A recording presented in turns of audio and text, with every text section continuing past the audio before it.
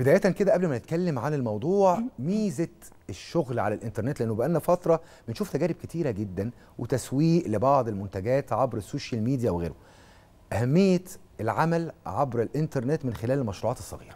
الحقيقة إن يعني لما فتحنا كده على عالم الإنترنت آه، بقى زي ما بيقولوا كده العالم بقى قرية كبيرة بقى كل حد يقدر يوصل من خلال الإنترنت لأي حاجة هو عاوزها سواء كورسات عشان يتدرب على حاجة معينة يتعلمها أو مثلا يسوق لمنتجات يلاقي وظيفة جديدة تناسبه ويتأهل لحاجة معينة.